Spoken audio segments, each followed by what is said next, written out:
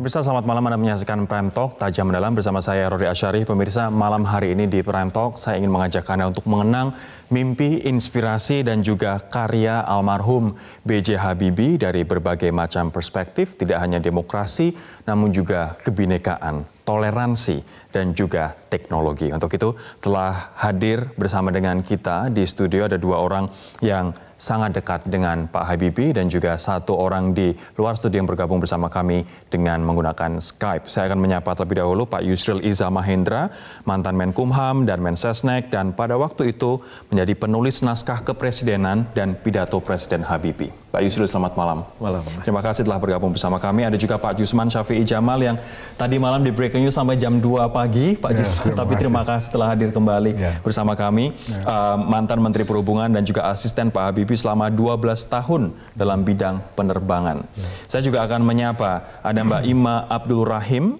mantan Direktur Eksekutif The Habibie Center dan yang juga telah bekerja bersama dengan Pak Habibie selama 20 tahun melalui sambungan Skype. Mbak Ima, selamat malam. Selamat malam, Rory. Saya akan ke Bang Yusril terlebih dahulu. Tadi dari um, siang pada waktu pemakaman kita sudah membahas begitu banyak prestasi, cita-cita, dan juga warisan dari uh, Pak Habibie begitu. Ketika Anda Pak Yusril sebagai penulis naskah kepresidenan dan juga pidato Presiden Pak Habibie, Sebenarnya bagaimana awal mulanya seorang Yusril Iza Mahendra kenal dengan Pak Habibie? Iya, uh, saya ditarik uh, ke Sekretariat Negara pada tahun 1992. Pada waktu itu Mensesneknya adalah Pak Murdiono almarhum hmm. dan presidennya masih Pak Harto dan Pak Habibie pada waktu itu menjadi Menristek dan oleh karena saya uh, asisten Mensesnek itu saya hadir di sidang kabinet, tapi tentu tidak duduk di deretan para menteri mm-hmm. di belakang dan saya harus menyimak sidang kabinet itu kemudian uh, membuat resume mm. hasil-hasil sidang kabinet dan sore itu sudah diserahkan kepada semua menteri dan kemudian mempersiapkan lagi materi bagi sidang kabinet yang akan datang. Nah ketika sidang kabinet itu break ya biasa kita ngobrol-ngobrol dengan para menteri termasuklah uh, Pak Habibie yang sangat kita hormati pada waktu itu. Artinya Pak Habibie posisi sebagai Menristek? Sebagai Menristek, ya. Dan uh, apalagi uh, ketika beliau uh, dipercaya untuk mendirikan atau memimpin ICMI pada waktu itu, mhm. -huh. jadi uh, hubungan dengan beliau sangat dekat sekali. Uh, bukan cuma saya, yang kawan-kawan lain mungkin lebih dekat lagi seperti kawan saya Pak Jimli Asidiki itu hmm. sangat dekat betul dengan Pak Habibie. Hmm dan uh, semakin dekat hubungan itu ketika Pak Habibie menjadi wakil presiden karena tugas saya sebagai uh, asisten Mensesnek itu menyiapkan tidak saja naskah naskah presiden tapi juga naskah wakil presiden hmm. juga pidato presiden dan pidato wakil presiden itu kami yang uh, persiapkan apalagi kemudian uh, ketika situasi sangat kritis pada tahun 1998 yeah. ya uh, telah terjadinya uh, krisis di bidang moneter pada waktu itu uh, politik kita goncang, ekonomi kita goncang dan gonjang ganjing uh, Pak Harto uh, akan mengundurkan diri dan siapa hmm. penggantinya itu saya uh, mempersiapkan dengan uh, sangat cermat dan hati-hati supaya Kata-kata. terjadi uh, proses pergantian itu berjalan secara sah dan konstitusional dan tidak menimbulkan masalah di belakang hari hmm. dan uh, di situ ada uh, itu skenario yang kami susun.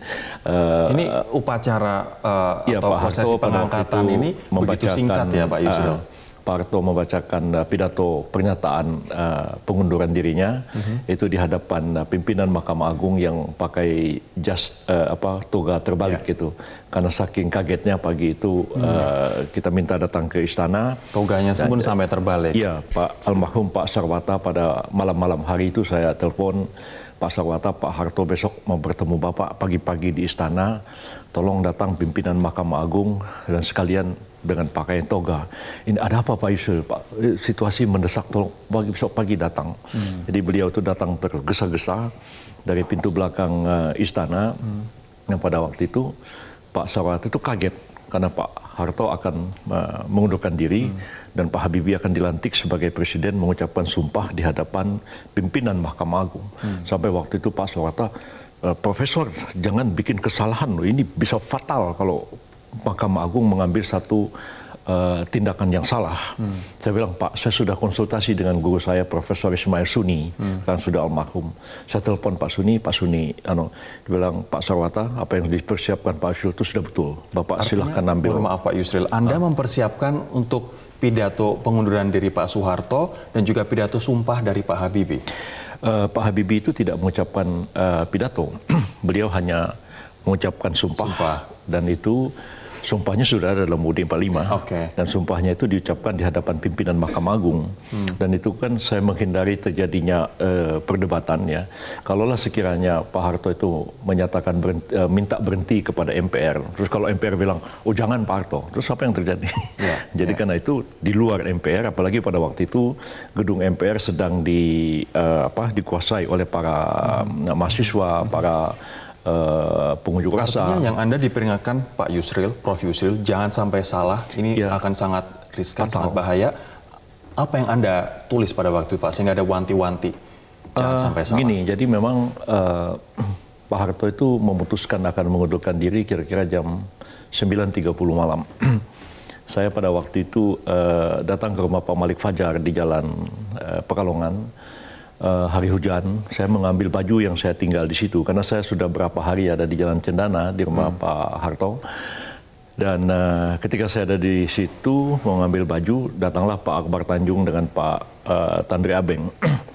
Pak Akbar bilang, Ril, uh, apa uh, yang terjadi di Cendana? Orang lain nggak bisa masuk, kamu aja yang bisa masuk situ sama yang lain-lain katanya. Ya, hmm. saya bilang, Pak Habibie sedang dipanggil Pak Harto tadi dipanggil Pak Umar Wirahadi Kusuma, tadi dipanggil Pak Tri, hmm. Pak Habibie begitu masuk saya keluar, saya mengambil baju ke sini. Eh, Bang Abar, saya, saya dengar-dengar nih menteri-menteri pada mundur ya. Hmm. Tadi Pak Harto waktu maghrib bilang sama saya sama Pak Sadilah itu tidak betul. Katanya dia sudah cek pada Mbak Tutut bahwa tidak tidak betul. Apa betul nih menteri-menteri pada mundur? So, Pak Akbar buka, buka jaket begitu, hmm. pakai setting dikeluarkan nih surat menteri-menteri mundur. Okay. Saya baca saya kaget. Yang kaget saya pulang ke Jalan Cendana saya lapor sama Pak Harto, sama Pak Sadilah. Pak, saya bilang, menteri-menteri mundur itu betul. Ini suratmu. Kamu dapat dari mana, Rel? Saya bilang dari dari uh, Pak Akbar, tapi ini kopinya. Saya keluar sebentar, saya tanya pada ajudan dinas pada waktu itu, Angkatan Laut, saya lupa namanya siapa. Dia bilang, Mas, ada surat nggak dari Pak Ginanjar? Ada nih suratnya, belum dibuka tuh surat. Hmm. Dan saya itu bilang, ya sudah, kalau begini, saya mundur, siapkan pengunduran dirinya. Itu jam 10 malam. Jam 10 malam. Sampai pagi itu kita mutar otak bagaimana caranya presiden itu mundur secara sah dan konstitusional hmm. dan Pak Habibie sah dilantik sebagai uh, presiden yang baru. Apa yang ada di pikiran Pak Habibie pada waktu itu? Mungkin diceritakan ke Pak Yusril. Besok hanya dalam waktu beberapa jam kemudian saya akan menggantikan posisi Pak Harto sebagai presiden. Beliau pasti sudah menduga itu akan terjadi dan memang uh, ketika saya keluar dari uh, rumah Pak Harto itu uh, Pak Habibie sedang di dalam. Itu berapa bulan kemudian saya baru bertanya kepada Pak Habibie, Pak Habibie apa yang dibicarakan? Saya dengar kok ada sedikit masalah. Hmm. Ya, beliau bilang Pak Harto uh, bertanya kepada saya, uh, Saudara Habibie, ya kalau saya berhenti, apakah saudara siap untuk melanjutkan uh, kepemimpinan ini? Hmm. Uh, ya Pak Habibie kan bicara dengan temperamen beliau. Sebenarnya wajahnya memang begitu ya. Hmm. Ya saya siap. Ya, kalau saya sudah jadi wakil presiden, saya uh, tentu setiap saat ya harus bisa menjadi presiden. Hmm. Nah, ya, Pak Harto ini kan orang Solo, orang Jawa, agak begitu. Jadi ya. saya dengar tuh masalah itu aja. Tapi kalau saya tidak menyalahkan siapa-siapa ya, hmm. karena saya menulis pidato Pak Harto, menulis pidato Pak Habibie, kan saya mesti mengenal watak beliau-beliau ini. Ya, Begitu ya. Uh, Tapi akhirnya kemudian Pak Harto paginya mengundurkan diri, ya, dan kemudian Pak Habibie disumpah menjadi presiden. Ya, memang Pak Harto sebelum-sebelumnya itu ngomong sama saya, dia bilang uh, real kalau saya berhenti ya apa Habibie bisa uh, meneruskan kepemimpinan Anda jawab apa ya, ya saya kan nggak bisa jawab saya diam aja hmm. saya bilang ya itulah konsekuensinya beliau sebagai wakil presiden ya, pak ya insya Allah bisa Ya, Pak Harto berkali-kali ngomong begitu. Justru malah menjadi peletak fondasi demokrasi, Pak Yusuf. Ya, jadi memang luar biasa. Saya percaya bahwa uh, Pak Habibie mampu bisa. Hmm. Saya, saya percaya bahwa setiap orang yang menjadi wakil presiden ya tentu mesti ya harus bisa menjadi Baik, presiden. baik. Saya sekarang akan Tapi itu cerita lama lah ya. Tapi cerita membuat lama. Nanti kita kadang-kadang saya akan- teringat saya agak perasaan saya agak Agak iya ya karena eh, ingat betul pagi-pagi menyiapkan eh, bukan cuma saya yang menyiapkan tuh Hmm. banyak ya almarhum Pak Syafruddin Bahar, Pak Bambang Kesowo, Pak Sunarto Sudarno itu rame-rame menyiapkan Hmm. Oke. naskah pengunduran diri partai. Nanti kita akan eh, mendengar cerita juga dari Pak Jusman dan juga mendengar cerita juga dari Mbak Ima yang Pak Jusman 12 tahun bekerja bersama dengan Pak Habibie. Mbak Ima lebih lama lagi 20 tahun bekerja bersama dengan Pak Habibie. Nanti kita akan simak cerita mereka sesaat lagi. Presiden yang pertama menjadi presiden yang membuka pintu itu adalah dari peralihan namanya Habibie. Momentum itu waktu diberikan keadaan bagi saya ini momentum yang saya bisa rubah. Karena itu pertama kalinya saya memberikan kebebasan. Ya toh? Ada dalam buku detik-detik yang menentukan. Nah, dalam hal itu saya buka pintu tiap orang bisa grup bisa membentuk partai. Oke. taruh persyaratannya. Tiba-tiba 600 400 partai. Gimana mau biayai? Da- dan kita masih Oke. eh, tidak mampu. Dan manusia belum mengerti. Karena manusia itu selama itu hampir apa 53 tahun. 53 tahun selalu dipegang ketat. Tadi Bung Kartung begini terus sekarang renggat tapi belum. Dia merdeka tapi belum bebas semua. Gitu. sekarang datang yang ketiga Habibie. Resultante dari banyak. Satu Oke. harus laksanakan tugasnya. Jadi apa? Diberi kebebasan. Dioper kepada Gus Dur. Generasi peralihan. Dioper kepada Megawati generasi peralihan dipilih langsung oleh rakyat SBY generasi peralihan. Ini pure generasi penerus. Jadi kita tidak dibenarkan pilihan generasi penerus. Kita pukul-pukul hancurin. Tidak benar itu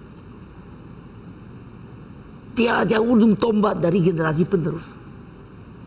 Jadi kita harusnya yang generasi peralihan plus generasi penerus. Setelah sudah ditentukan dia kita rame-rame mensukseskan programnya. Program kita membuat program bersama. Oleh karena itu yang kita harus buat garis besar haluan negara Saya sekarang akan menyapa Mbak Ima yang bergabung melalui sambungan Skype.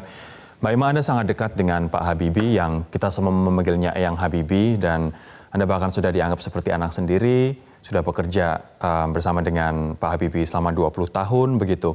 Apa karakter Pak Habibie yang paling Anda ingat dan Anda terapkan ketika Anda berinteraksi bekerja sama dengan Pak Habibie, Mbak? Um, yang pertama, terima kasih Rory. Um, pertama, kecintaannya pada Indonesia. Itu yang menurut saya uh, yang benar-benar beliau tanamkan. Ketika pertama saya bergabung di Habibie Center, dia selalu bilang bahwa ini adalah untuk uh, bangsa Indonesia. Karena dia melihat proses demokrasi di Indonesia uh, itu tidak akan terjadi dengan sendirinya dan uh, ini adalah perjalanan yang panjang.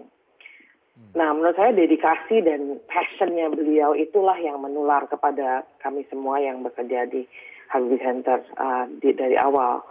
Um, dan itu yang kita sebetulnya melihat uh, dedikasi itulah yang akhirnya menjadikan semangat buat kita untuk terus um, uh, berkarya, untuk terus membuat program atau me- melakukan research yang uh, terkait dengan demokrasi, proses demokrasi di Indonesia. Itu sih yang uh, yang saya selalu lihat. Kalau dia beliau udah passionate, uh, seperti tadi Pak Yusril bilang, beliau kan sering semangat sekali itulah passion itu yang men, uh, yang akan tidak pernah akan saya lupakan. Mbak Ima, apa sebenarnya cita-cita besar Pak Habibie dengan membentuk The Habibie Center ini? Apa yang ingin diperjuangkan? Um, bahwa ya itu sesuai dengan motonya demokratisasi tak boleh henti. Beliau sangat sadar bahwa demokrasi itu bukan hanya akan terjadi dalam waktu semalam. Tidak mungkin kita hanya merem dan malah langsung demokrasi itu sempurna. Memang itu uh, menurut dia ini adalah sebuah uh, sebuah perjalanan bukan sebuah tujuan uh, demokrasi itu. Jadi menurut dia uh, itu harus ada yang selalu mengawal.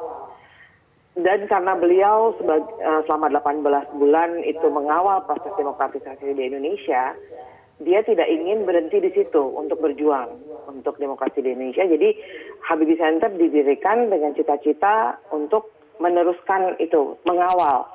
Dan memang itu diterapkan. Kita tidak pernah dan Bapak selalu berpesan, jangan pernah melawan apa yang dilakukan oleh pemerintah. Kritis boleh, tapi kritik yang membangun. Hmm. Jadi apa yang kita lakukan selalu uh, terkait dengan uh, bekerja sama dengan pemerintah. Kita akan bermitra. Uh, hmm. Dan itu yang dan dia selalu uh, bilang jangan duplikasi, jangan replikasi, justru mencoba bersama memperbaiki, kolaborasi, cari sinergi yang positif. Itu okay. yang selalu beliau katakan kepada kami. Baik, saya akan ke Pak Jusman sekarang, Mbak Ima. Pak Jusman, um, kita sudah ngobrol banyak semalam, tapi saya ingin um, masyarakat juga mendengar dari Anda. Apa sebenarnya peran besar dari Pak Habibie sehingga membentuk seorang Yusman Syafi'i Jamal hari ini? Peran besarnya itu, kalau saya pikir semua mungkin merasakan, yaitu beliau itu selalu menetapkan standar hasil yang tinggi dalam setiap tugas yang dia inginkan. Dia nggak ingin orang lain orang itu bekerja secara asal-asalan. Jadi dia pengen seluruh puncak karya dari seseorang itu muncul tampil hmm. karena beliau sangat percaya bahwa eh, terutama ya generasi muda Indonesia itu jauh lebih pintar. Jadi beliau ingin sekali supaya orang yang pintar ini keluar kepintarannya. Hmm. Jadi karena itu beliau menetapkan standar yang tinggi dan untuk menetapkan standar yang tinggi itu buat beliau menyusun program. Jadi setiap orang itu kalau saya lihat mempunyai sebetulnya by design itu diprogram oleh beliau. Oke. Okay. Dan karena itu terus kemudian beliau yang paling juga menentukan itu adalah di, beliau tidak melepas begitu saja. Beliau anda muridnya, arti Anda dibimbing bimbing terus menerus. Jadi kayak seperti memang guru besar ya di dalam ini, tapi di dalam langsung di dalam program nyata ya, di dalam hmm. kegiatan. Itu yang satu. Jadi itu yang pengalaman. Akibatnya orang seperti kita itu selalu tertantang. Oke, untuk... selain itu Anda Anda juga mengatakan semalam bahwa Pak Habibie tipe guru yang suka nyemplungin muridnya.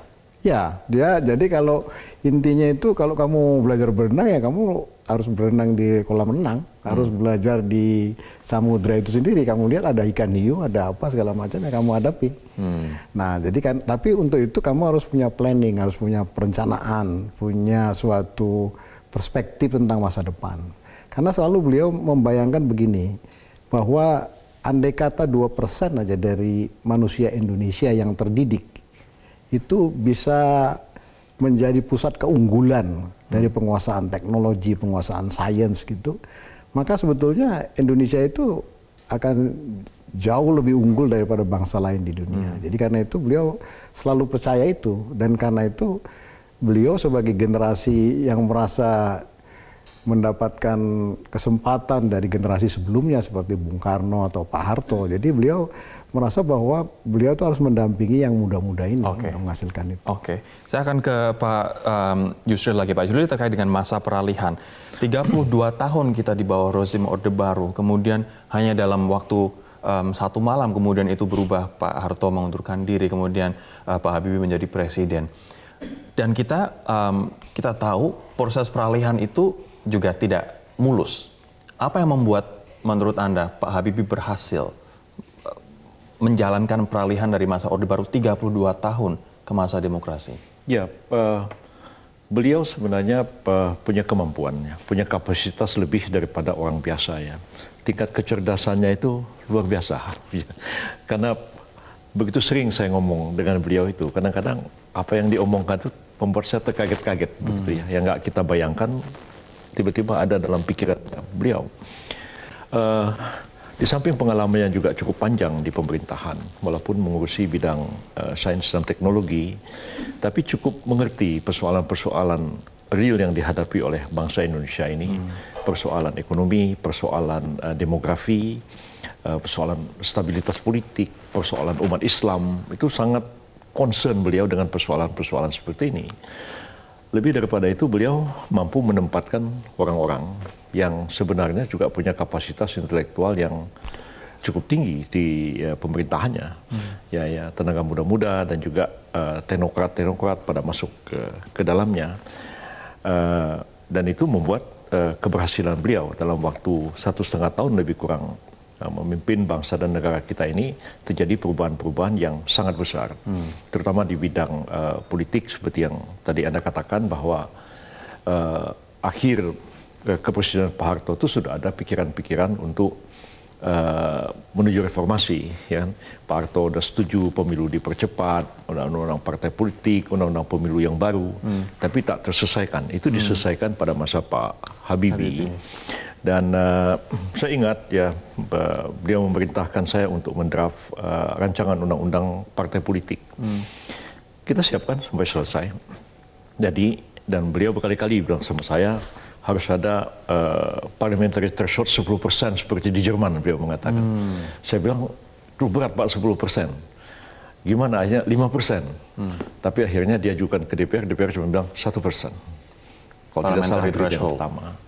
Nah, saya senang sekali mendapat tugas seperti itu dan ada satu hal yang membuat saya sangat tersentuh ya. Ini sisi lain dari Pak Habibie di samping kepintaran dan kecerdasannya yang luar biasa itu, tapi sisi kemanusiaan beliau itu sangat-sangat luar biasa ya.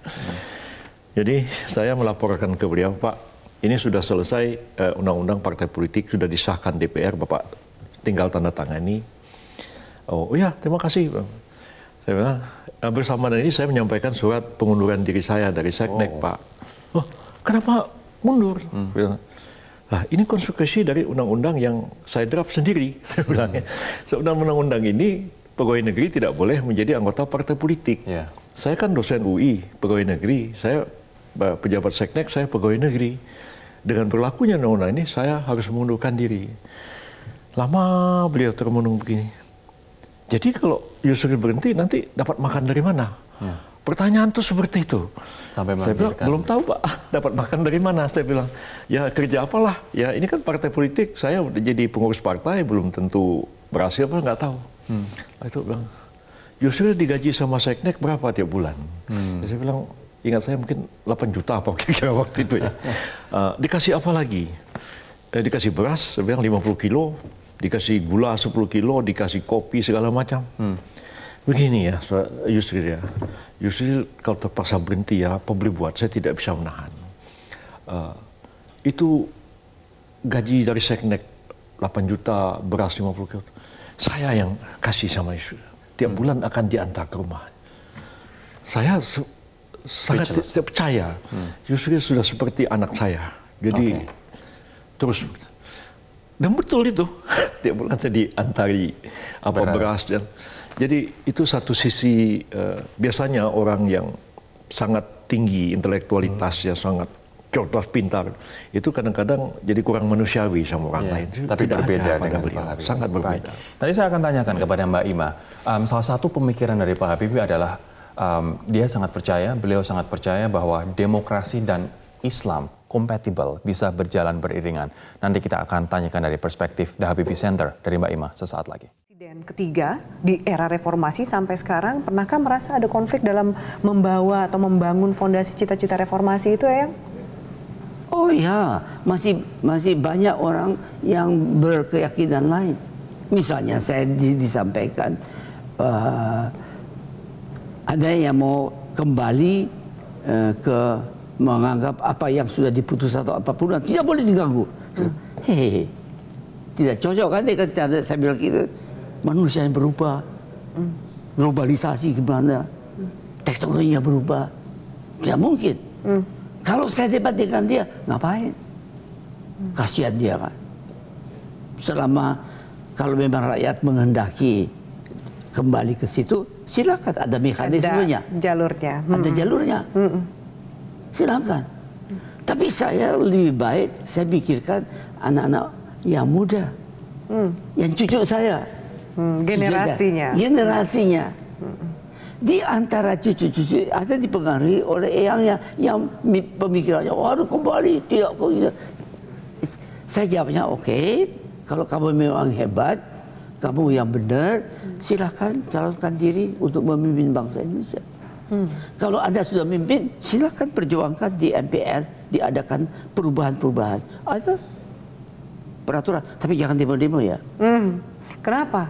Kan reformasi juga terjadi awalnya dari demo-demo Nah, mahasiswa. kalau demo, dari generasi nah, muda. Kalau demo yang secara baik, itu Silakan. bagian dari bukan bagian dari demokrasi. Demokrasi tanpa demo nggak ada artinya. Tapi jangan demo terus merusak orang, membakar, itu kriminal, atau menteror, membunuh orang. Apa-apa yang terjadi, eh, saya tidak tahu yang keluarga bom-bom Ya, gitu di Surabaya. di Surabaya. Itu itu nggak benar tuh. Kalau dia nggak setuju itu, silakan cari wakilnya yang mau memperjuangkan. Tapi jangan Melakukan bunuh, itu. Melakukan itu.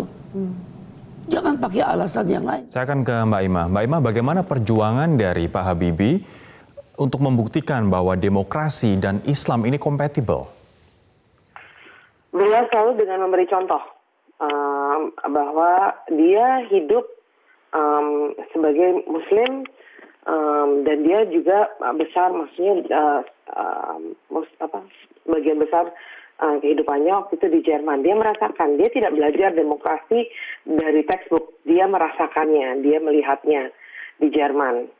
Uh, dan dia merah, dia sebagai muslim dia meli- melihat itu sangat kompatibel bukan karena dia membacanya dan hanya meya- meyakininya karena dia merasakan.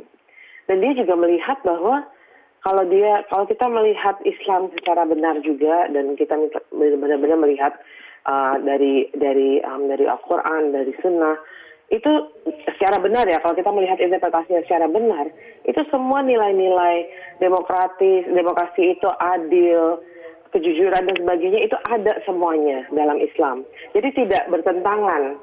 Um, itu dan dan dari dari awal ketika mendirikan Habibie Center sering bilang uh, orang men, uh, mensalahartikan bahwa Habibie Center adalah uh, think tank atau uh, institusi Islam. Kata Bapak bukan, itu institusi tentang demokrasi. Demokrasi itu inklusif. Inklusif itu merangkul semuanya. Jadi kalau kita bisa merangkul semuanya, kita bisa mensejahterakan seluruh rakyat Indonesia, berarti semua terkena. Yang Muslim, yang Kristen, yang Katolik semua itu kena. Jadi pemikiran Bapak tentang inklusif, tentang eh, tentang menjadikan Indonesia yang inklusif, itu sejalan dengan demokrasi dan itu menurut Bapak sejalan dengan nilai-nilai Islam. Baik, baik. Kita akan jeda terlebih dahulu. Nanti saya akan tanyakan ke Pak Jusman bahwa um, N250 adalah pesawat um, yang dibuat oleh Pak Habibie dan menjadi kebanggaan bangsa Indonesia. Namun akhirnya tidak bisa um, menjadi begitu fenomenal, begitu besar karena ada- intervensi dari asing. Ketika menyadari ada intervensi asing itu dan N250 tidak bisa menjadi begitu besar, apa perasaan Pak Habibie pada waktu itu dan bagaimana dia um, ikhlas menerima itu, Pak Jusman? Nanti kita akan bahas Pak sesaat lagi. Tetaplah bersama kami di Pranto. Pak Jusman, apa peras- seperti apa perasaan Pak Habibie waktu itu ketika an- anak hasil karyanya N250 tidak bisa besar karena intervensi asing, Pak? Kalau saya amati sebetulnya sedihnya sangat mendalam ya teman. Beliau cuma tidak mengeksposnya. Mengapa sedih? Karena N250 itu sebenarnya puncak daripada penguasaan teknologi yang dia beliau desain dari sejak tahun 76. Jadi beliau itu sudah dari sejak kalau mempunyai planning itu kan 10 tahun ke depan karena pesawat terbang ya. Jadi tahun 76 sampai tahun 84 beliau mengatakan bahwa kita harus menguasai teknologi dari yang sangat sederhana misalnya perakitan dari lisen berdasarkan lisensi yaitu KASA 212 terus kemudian kita join desain membuat CR 235 dan kemudian kita membuat modifikasi sendiri sehingga kita menghasilkan CR 235 yang berbeda dari yang KASA punya. Jadi seolah-olah kita sudah menguasai teknologi itu secara penuh. Baru kemudian kita membuat pesawat N250 dari nol. Oke. Nah, ketika tahun 97 krisis ekonomi itu terjadi, yang beliau sangat kaget itu adalah bahwa kenapa secara spesifik disebut IPTN itu ya tidak boleh didanai oleh. Siapa yang nyebut secara Nah, itu spesifik yaitu dalam letter of intent yang ditandatangani oleh Pak Harto dengan Kamdesu. Ya. Nah, dari dari situ dan ketika itu beliau merasa bahwa beliau tidak diajak bicara untuk waktu menempatkan itu. Sehingga beliau kaget siapa sebetulnya yang memasukkan pasal itu? Karena sebetulnya kalau beliau datang bertemu sama Pak Harto tidak mungkin ada pasal itu. Nah, karena itu beliau waktu saya kasih tahu bahwa itu ada pasal itu beliau langsung bertemu Pak Harto. Tapi pada akhirnya beliau mengatakan Yusman ini sudah satu keputusan yang memang terjadi jadi kita harus membuktikan bahwa kita mampu berdikari. Kita Artinya cari itu yang diblok dananya untuk untuk mengembangkan pesawat. N250. Jadi program itu seolah-olah yang namanya IMF itu bahwa karena kita Indonesia mengalami krisis, Krisis. maka yang dikedepankan tuh austerity. Jadi suatu penghematan besar-besaran. Seluruh industri ya satu proyek yang dianggap besar yang mengeluarkan anggaran besar itu dipotong. Termasuk Hmm. misalnya kayak ada proyek PLN yang sangat besar Dan sekali. salah Itu- satunya adalah N250. Nah, betul. Dan yang paling dan yang paling menonjol itu yang disebut secara spesifik itu justru N250. Kenapa Kalau menurut Anda, Pak? kalau menurut hemat saya itu karena sebetulnya yang memasukkan unsur N250 itu karena tahu bahwa sebetulnya N250 itu hanya membutuhkan biaya sebetulnya tidak begitu besar lagi yaitu kurang lebih mungkin sekitar 200 juta dolar pada Ada yang waktu itu menginginkan kita tidak menjadi bangsa besar. Ya karena pada waktu itu kalau kita bisa berhasil melahirkan N250 sebetulnya nggak ada lagi bangsa lain yang bisa menghasilkan produk N250 itu. Karena poker pada waktu itu kan sudah jatuh ya, sudah hilang dari peredaran. Terus kemudian jadi waktu poker itu mengatakan bahwa saya tidak lagi akan membuat program poker 50 dan poker 27, Pak Bibi mengatakan lihat itu kita belum tumbuh saja mereka sudah merasa bahwa tidak bisa bersaing sama kita. Dan kemudian juga yang namanya saingan lain itu adalah di Havilland Canada, yaitu di Havilland Canada tidak juga mempunyai suatu program yang produk yang canggihnya sama dengan N250. Begitu juga satu lagi Artinya adalah kasus- N250 dilihat sebagai ancaman satu jadi oleh jadi jadi kalau itu. dia kan diprediksi itu akan masuk ke pasar tahun 19 tahun 2000-an. Hmm. Jadi kalau begitu masuk ke pasar tahun 2000-an maka dia tinggal satu-satunya produk. Nah, Oke. pada waktu itu eh, dianggap bahwa pasarnya besar sekali. Baik. Dan jadi itu yang beliau eh, merasa bahwa oh eh, pastilah ini karena suatu upaya untuk memotong program yang telah lama beliau rencanakan dan dipotongnya itu adalah ketika sebetulnya IPTN itu membutuhkan dana untuk menyelesaikan program itu mendapatkan sertifikasi Oke. dari Indonesia dan sertifikasi dari FAA. Bahkan Berarti beliau sudah ujuk aja. Ya, dan bahkan beliau sudah mendapatkan suatu tanah atau suatu fasilitas yang diberikan oleh Hmm. Eh, pemerintah apa, mm, negara bagian di Alabama untuk memproduksi N250 di sana Hmm. Baik. dengan suatu insentif tertentu. Tapi artinya yang bisa kita pelajari adalah sikap ikhlas beliau menerima demi bangsa dan negara karena masalah juga dengan Ya, karena beliau- moneter, akhirnya Karena setelah mungkin setelah berko- Oke. berkonsultasi dengan Pak Harto, beliau tahu bahwa ini sudah keputusan yang dibuat oleh Presiden kita jeda Republik terlebih dahulu Jadi kan- Pak Jusman. Nanti saya juga akan tanyakan ke Pak Yusril terkait dengan membuka keran demokrasi, kebebasan pers. Di satu sisi itu juga melemahkan Pak Habibie sebagai presiden. Kok mau melakukan itu begitu? Kita akan membahasnya Pak Yusril sesaat lagi. Tetaplah bersama kami. Saya akan kembali ke Mbak Ima. Mohon singkat saja Mbak Ima, apa yang bangsa ini perlu belajar Mbak Ima dari sosok seorang Habibie di saat intoleransi kita mendapatkan, eh, toleransi kita mohon maaf, mendapatkan tantangan, kemudian NKRI dan juga kebinekaan kita saat ini sedang terchallenge begitu. Em, kalau menurut saya, Bapak itu seperti saya bilang tadi, eh, leading by example. Bapak tidak pernah membeda-bedakan. Bapak selalu merangkul siapa aja. Eh, dan kalau kita melihat dari kehidupannya Bapak, kalau kita membaca buku-bukunya, kalau kita nggak sempat baca bukunya, menonton filmnya, diperlihatkan bagaimana Bapak tidak memandang bulu siapa siapa yang menjadi KA temannya.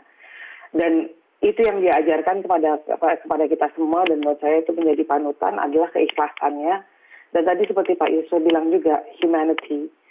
Um, dia dia selalu dia tidak pernah um, melihat uh, siapa pun itu kalau dia perlu bantuannya itu uh, pasti bapak akan bantu. Baik. Jadi um, itu yang saya yang saya dapatkan. Baik, Mbak Ima, terima kasih waktunya telah bergabung bersama kami di Prime Talk, Mbak Ima. Selamat malam. Terakhir ke uh, Pak Yusril, membuka keran pers, kemudian uh, membuka pintu demokrasi itu di satu sisi melemahkan posisi Pak Habibie sebagai presiden. Tapi kenapa beliau mau, Pak? Ya, kalau bagi beliau pribadi memang konsekuensinya seperti itu. Tapi tidak bagi bangsa dan negara kita. Hmm. Saya uh, teringat uh, tulisan dari uh, seorang yang sangat dekat dengan saya, almarhum Profesor Abu Hanifah. Hmm. Beliau menulis tentang Tan Melaka, yang mengatakan Tan Melaka revolusi menelan anaknya sendiri. Hmm. Ya Tan Melaka itu revolusioner untuk Indonesia merdeka, tapi karena ideologinya Kemudian beliau ya. terbunuh yeah. Di zaman revolusi itu. Mm -hmm. Pak Habibie pun kira-kira seperti itu. Artinya berkorban. Iya. Pak Habibie itu banyak sekali bercerita kepada saya tentang persahabatan dengan Helmut Kohl, okay. uh, kanselir Jerman. Beliau bercerita banyak tentang Partai Kristen Demokrat hmm. Jerman dan tentang demokrasi di Jerman dan beliau anggap itu sangat bagus. Ide tentang threshold itu diilhami oleh uh, hmm. apa namanya tradisi politik Jerman. Hmm. Jadi di samping itu juga beliau belajar Islam sangat mendalam. Artinya beliau tahu bahwa dengan membuka peran demokrasi ini akan memperlemah saya sebagai presiden, tapi ini yang diperlukan oleh bangsa saya. Iya betul. Baik. Jadi beliau sebenarnya uh, seperti kita ingat ya ingin membuka saja, tempat untuk demo ya. Hmm membukakan kebebasan berpolitik, kebebasan mimbar, hmm. uh, siup dicabut, tidak perlu lagi ada siup. Jadi kita mengalami kebebasan yang luar biasa. Pada waktu itu setelah kita terkekang 32 tahun, tiba-tiba okay. itu dibuka, orang itu seperti Euphoria. tanpa kontrol baik, lagi. Baik. Dan akhirnya memang uh, itu uh, berimbas kepada beliau sendiri. Pak Yusril, ya. mohon maaf waktu kita sudah habis oh, Pak Yusril, tapi kita tapi kita masih bisa uh, membahasnya di lain kesempatan. Tapi yang jelas apa yang dilakukan oleh Pak Habibie adalah nggak apa-apa, mungkin posisi kan sebagai etika politik beliau sangat tinggi. Etika politik ya, sangat tinggi. Nggak apa-apa secara uh, posisi sebagai presiden menjadi lemah dengan adanya uh, demokrasi itu, tapi ya. ini demi kebaikan bangsa. Demi kebaikan bangsa. Terima kasih sekali Pak Yusril. Pak Yusman terima kasih atas waktunya di Prime Talk. Demikianlah perbincangan kami pemirsa. Semoga ada nilai-nilai agung, nilai-nilai besar yang bisa kita petik pelajaran dari apa yang disampaikan oleh tiga tamu saya di Prime Talk ini dari sosok seorang B.J. Habibie. Saya Rory Asyari undur diri. Sampai jumpa.